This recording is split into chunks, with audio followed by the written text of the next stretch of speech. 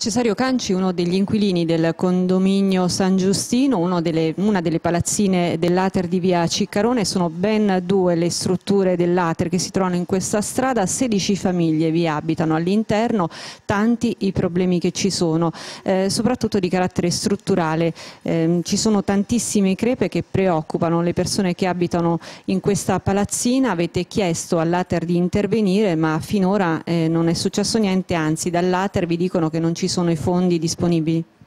Esatto.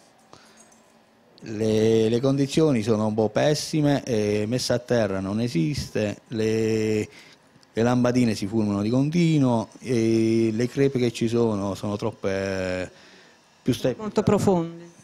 Ecco, voi avete paura anche per la vostra sicurezza, perché qui potrebbe crollare tutto da un momento all'altro. Sì, ci stanno anche il, il fatto che stanno pure un po' di topi di fogna che vanno in giro, peggio dei gatti diciamo. E il resto, le finestre che sono un po' larghe, ci sta due dita di spazio sotto le finestre ci entra vento di continuo. La situazione è drammatica. La gratinata abbiamo cercato di ripitturarla noi, però è sempre la stessa cosa perché l'umidità ci sta. Dove stanno i contatori, ci stanno sia i contatori che il costo della corrente vicino e diciamo, l'umidità può succedere qualcosa pure ai cavi della corrente.